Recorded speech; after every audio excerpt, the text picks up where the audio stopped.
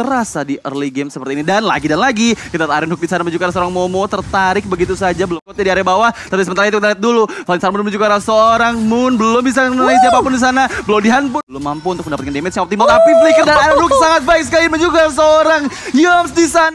Yang tidak mudah untuk ditumbangkan masih bisa bertahan. Tapi ternyata ada hook yang sangat on point dari seorang. Nah Araki sepertinya mereka mau bermain cepat dan langsung lagi-lagi satu buah Iron Hook connect. Terkena surprise dari Maju ke inner turret. Eh, tapi oh terkena stun Skylarnya. Masih bisa lari tentunya masih punya sprint. Oh, dan bahkan masih ada satu boba yang ditarik balik kali ini. Terkena surprise lagi dan lagi ya seorang Ciku. Bakal coba ditabrak balik kali ini tapi ternyata dari seorang Finn dia langsung culik satu pemainnya itu Moon di sisi belakangnya. Beruntung. Tapi ini ya Lim ini Hmm. berdua kayaknya timnya fight mulu ya. Dan aku malah kan ngeliat Todak terus yang ajak fight. Iya.